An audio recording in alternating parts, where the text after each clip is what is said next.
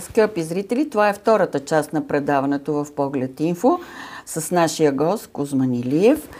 И аз искам да продължиме а, темата, които разглеждахме в първата част, като ще припомна, че той наскоро каза, че политиката ни през последните години е водевилен цирк.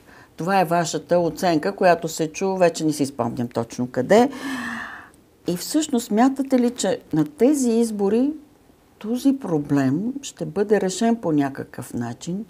Ще се умеят ли тези, които не само участват в изборите, но да кажем ще влязат в следващия парламент, да преодолеят това? Между другото, това мнение е масово, не е само ваше. И затова хората отвратени дори не искат и да гласуват, защото смятат, че няма за кого. За тези същите не си заслужава. Мислите ли, че има някакъв шанс в тази насока? Или ще трябва да изчакаме, както казва социолозите, до края на годината ще има нови избори, в зависимост от това, което ще стане еди къде си, вече го споменахме. Ще има колело, ама друг път. Някой ден, ще, Да. някой ден ще дойде. Избори след избори. На всеки избори ние казваме, ще дойде следващ. Вижте, когато се съберат клоуни, те правят цирк. Няма какво да бъде друго. Аз за това го казвам. Те са събрали хора, които се забавляват. От това пускат чегички постоянно, викат трибунки, за да говорят някакви лавчета. Предварително си ги направят така, някакви смешни лавчета за кафенца, за не знам си какво. Така, скутове и темпо. Кутове, пудели и така нататък и се над, надприказват се. То става като говорилни. Никой не носи отговорност. Всеки и усещането у българите аха, ясно, зад кормилото няма никой. Всеки си измива ръцете и казва, оправдава се с хора, които не са на земята, с някакви Или казва нищо лично. нищо лично. Сега това, което според мен се случва в българския родния политически пейзаж е една стратегическа дилема на отговорните фактори в управлението, които наистина, както преди малко вие казахте в първата част, чакат да видят какво ще стане в Украина и чакат най-вече да видят какво ще стане, защото то е много по-важно, в Съединените Американски щати. И тяхната лойка е такава. Леко тук, да тупкаме топката, да не се много изхвърляме, пускаме една фаланга, която започва, както сме били първите либерали, глобалисти за зелената сделка, всичко зелено, защото така е било модерно, почваме вече да критикуваме зелената сделка. Зелените екстреми, екстремисти. Почваме вече да създаваме такива по-консервативно говорещи Да, ще, крила. ще възвръщаме построяването на Белене и такива приказки Да. се чуват.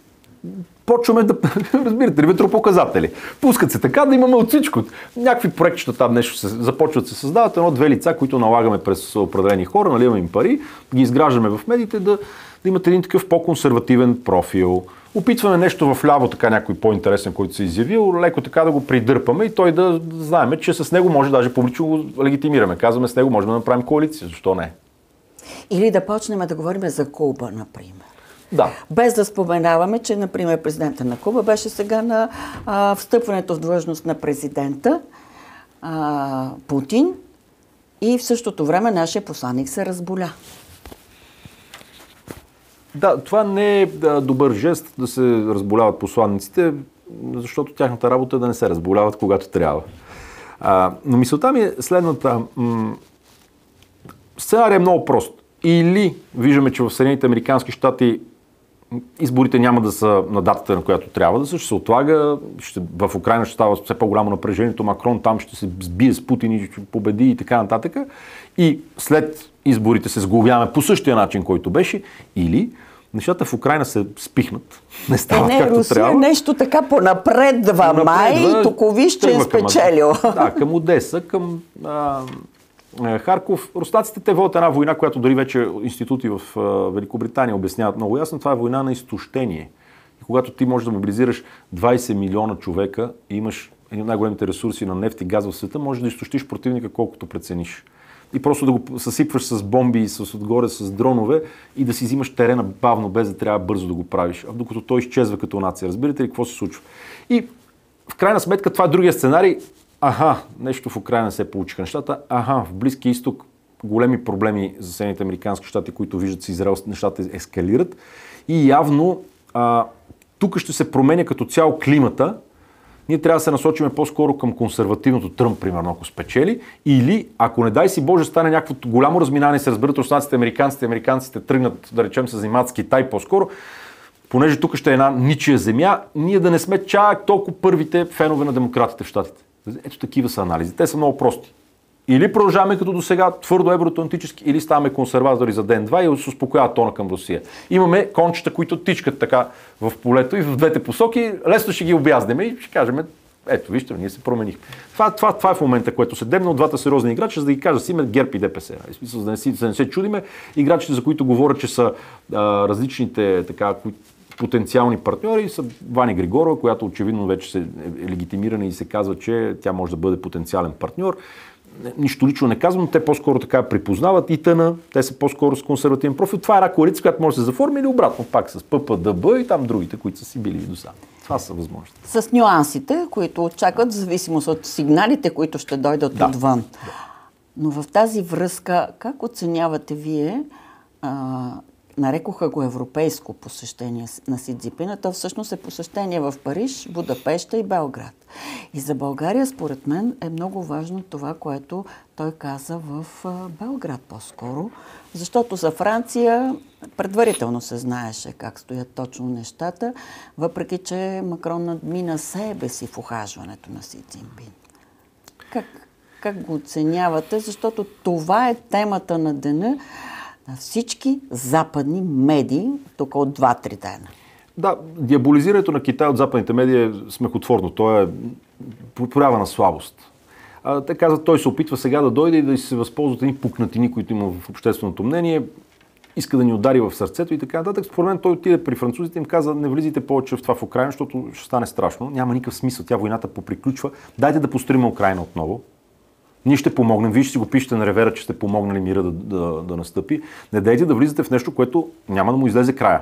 За мен това е била, бил разговорът, тъй като до голям, голямата стратегия на китайците, вие отлично знаете, тя е пътя на Коприната, един път един поезд, но той минава с железопътните линии и големите артерии транспортни през Украина се свържа с Европа. На тях им трябва мирна Украина. Китайците са единствените, които могат да посредничат за мир между Запада и Изтога. Проблем обаче, че на Запад Китай не се гледа на него като на възможност, а се гледа като на много по-големи проблем от Русия. И Русия беше само една първа хапка за онези хора, които правят политиката така на, на голямо ниво, в, особено в Съединените Американски щати. Дайде да оправим Русия, да вземе ресурсите и да тръгнем към Китай. И не стана това с Русия, което трябваше, и сега се тръгва към Китай, за да има по-голяма цел някаква. Си Цзинпин се опитва в Европа да каже, не участвайте в това, което са тръгнали щатите. Вие не ще щатите, не може да си го позволите. Дайте да правим бизнес и да възстановим Украина. А тук в Европа, той показвайки кои са партньорите му, унгарците и сърбите, показва кои са най-умните хора. За съжаление го казвам. Защото те, който е бил в Сърбия, знае, те не са в Европейския съюз, но гледаш магистралите и цъкаш с език. Ние сме в Европейския съюз и магистралките не ги няма. Техните са читави.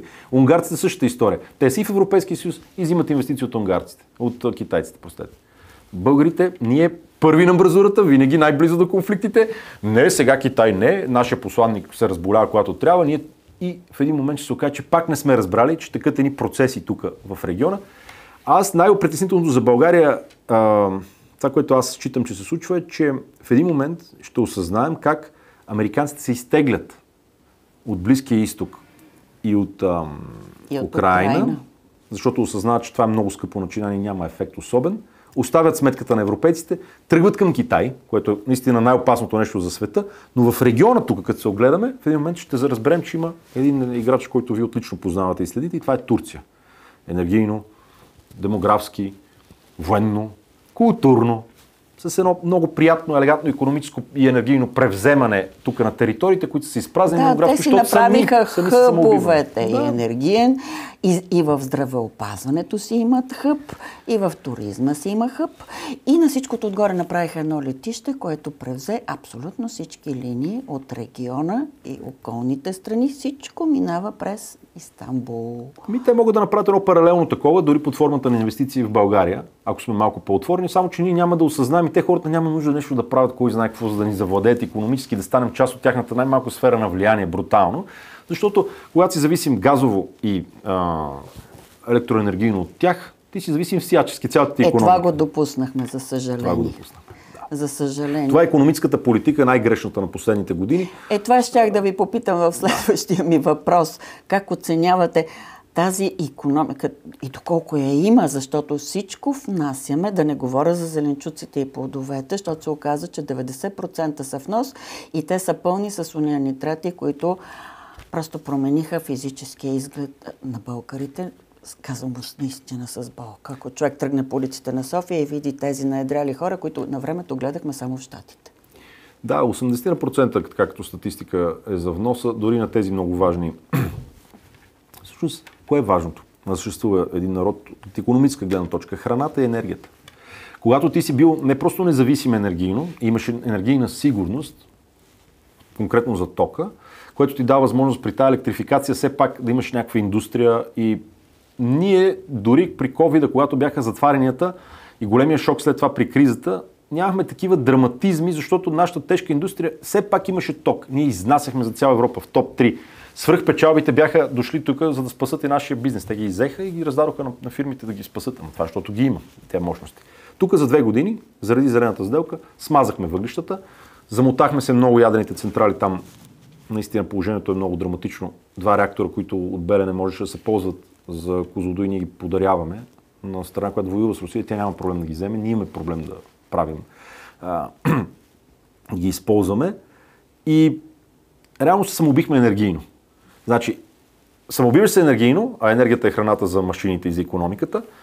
От гледна точка на земеделие, най-безумните регулации от Европейски съюз по зелената сделка сме ги внедрили по отношение на напояването, невероятни проблеми в нашата жизнь. Внасяме домати от Йордания. Внасяш, като, като не можеш да ги произведеш. Да. И ти, реално, това е причината за това в България предприемаческата ни култура и така настроенията на хората са много негативни.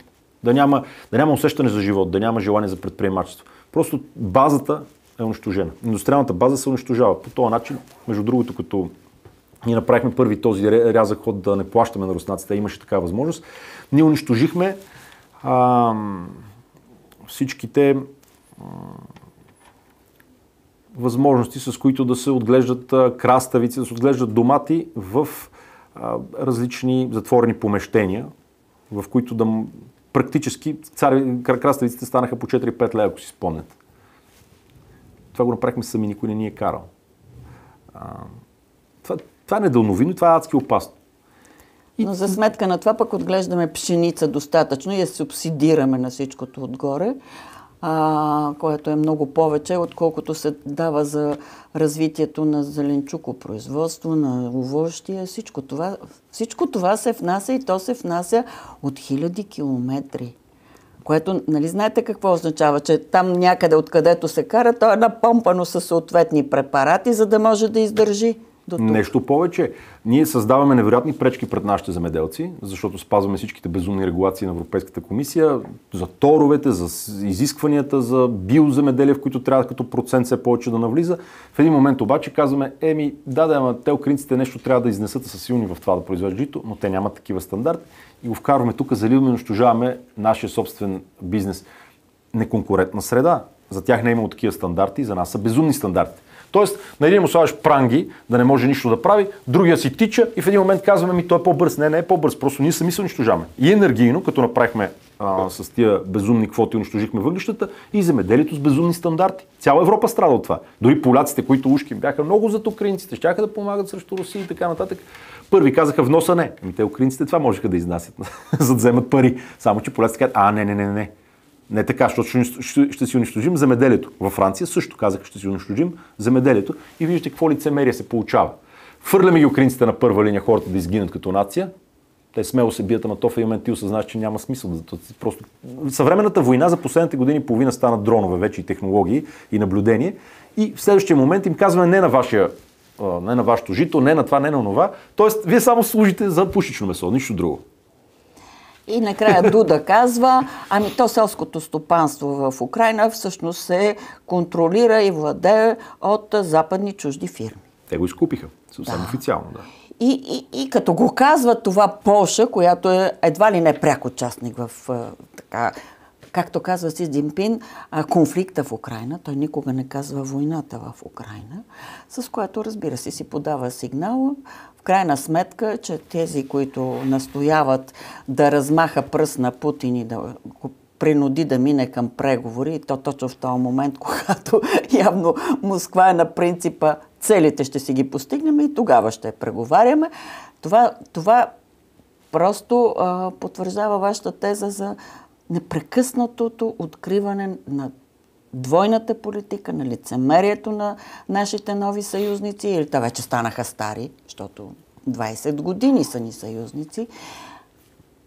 Какъв е изхода за България? Има ли стратегия България в крайна сметка, да кажем, айде не е толкова дългосрочна, в средносрочен план? Какво да направи? Много е просто. Дипломация, търговия с всички, размяна и сътрудничество. Не затваряне на вратите, просто за да се покажеш колко а, ти си най-правоверният, ти си най-послушният, искаш да си така пионерчето, което нали, сега днес е евроатлантизма. Това, което не разбират нашите приятели от Запада е, че света пред очите им стана мултиполярен в смисъла, че вече а, ти на китайците не можеш да им нареждаш. Когато някой ти им казва спрете с руснаците, той по-скоро подразнен Ши Джинпин и казва официални лица, господин Блинкен не го придружават демонстративно. Тоест вече нещата до такава степен се промениха, че а, нито руснаците са подчинени на китайците, нито китайците на руснаците. Индийците имат своя игра. Всеки играе вече има правото независимо да взима своите решения и самостоятелно. Единствените, които не се усещат за това нещо, че се е случило пред очите им, са по-скоро наистина представителите на Съединените Американски щати от демократите най-вече. Те се държат по много хегемонистичен и заповеднически начин и васалите в Европа и най-вече ние, така най-послушните, които не осъзнаваме, че света се промени пред очите ни, вече тези неща са в миналото. Когато някой бие по масата, казва, правилата са тези, докато на мен ми отърва. А, когато ние правим а, удари по страни, които са много далече от нас, е, това е нещо законно. Когато някой си защитава неговия интерес на границата, това е незаконно. Разбирате, тези неща света вече не ги приема. Ние живеем, определено аз смятам, че българите живеем като идеи за света в края на 80-те, някъде горе-долу, с тези понятия. Комунизъм, демокрация, с такива неща. Света се разви страшно бързо. Днес пазарната економика на света всъщност е Китай с техния си модел. Те, те, те бият в пазарната економика всички останали. Те казват, ние можем да произвеждаме повече, имаме си нашия си модел. Тук Но има държава, която регулира, държава, регулира нещата, планира и регулира. При нас не се чувства държавата. Вижте, проблема е, да, при нас държавата обаче навсякъде, защото ние виждаме, че политиката навсякъде при тях е, а, не трябва да сме безкритични към тях. И те следят в реално време гражданите си. И те а, наистина експлуатират до голяма степен това, че има един невероятен човешки ресурс, който трябва да е много подчинен, следят в реално време пари, там вече кеш няма, който е много голям проблем. Там, ако някой е социално, а, така да се каже, политически неудобен, бива сниман, пуснат на едни големи прожектори и му се спират парите. И това не е много хубаво. Да сме обективни. Това не е сега тук мана небесна. Но е факт, че тия хора са склонни чрез дипломация, чрез економика да влизат в някакви територии, в които не правят война и това трябва да бъде уважавано. А на Запад какво си казват онези, които до сега, елитите особено, а това е голяма опасност за нашата економическа доминация, война с тях. Те така се свикне. Война, набиваме ги, смазваме ги, санкции, почват да им говорят за санкции, ние сега ще ви санкционираме, ако вие сте с руснаците. Така, така ли? Айде за кое ще ни санкционирате, защото ако ви спрем стоките, няма да има какво да ядете. Горе-долу така стоят нещата. И горе-долу това е казал си Джимпин на Макрон. Аз така го прочетох също. Ама разбира се, защото като знам, т.е. като проследих какво е направил Макрон, нищо, че ме е подарил един речник френско-китайски от 1742 година, за да почетая, почетая колко са им стари връзките, нали, че това ще бъде добра основа за сътрудничество. Но има и една реплика, че Европа без Китай не може, която някакси обегна от да кажем, коментарите е у нас. Айде да не говоря за западните. Там пък улупата е много по-прецизна от нашата. Това, което е много опасно за нас като европейци, защото ние сме създатели на Европа, аз го твърдя смело, но една здрава Европа, Европа, която включва в духовните си предели и Русия и целият регион тук, тъй като Достоевски е европеец. Толстой е европейци, не мисля, че са азиаци. А, Голям проблем е, че Европа в момента, бидейки адски слаба економически и енергийно самоубивайки се, се мисли и се опитва да се прави на геополитически великан, на империя.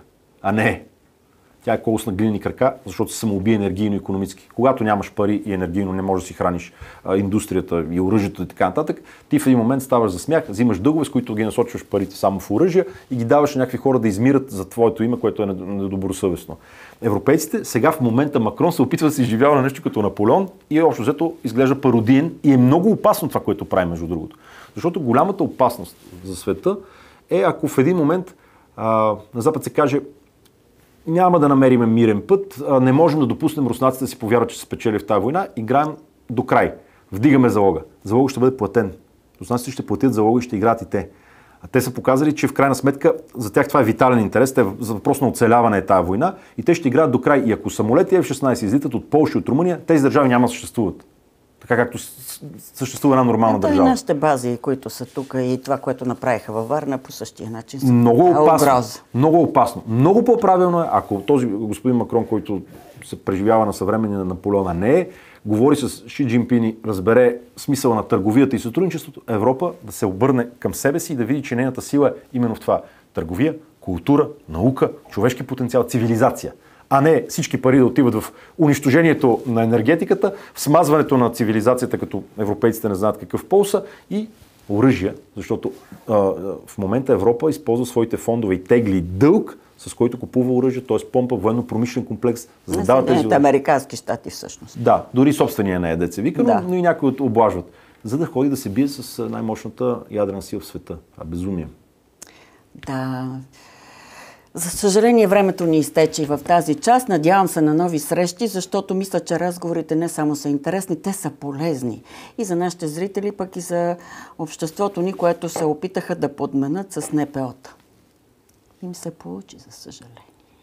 Много добра стратегия, права сте. Това е една мрежа, която сработи, Да. но нашата работа с вас и според мен на всеки, който се занимава с обществена дейност е да се бори посланието и истината да достига до повече хора и да, да бъдем и по-гъвкави, и по-интересни, така че младите, които идват, да могат да разберат, че тези НПО-та, както казвате, не работят в техен интерес, ги застрашават. Да, благодаря ви за участието и до нови срещи. Нови срещи.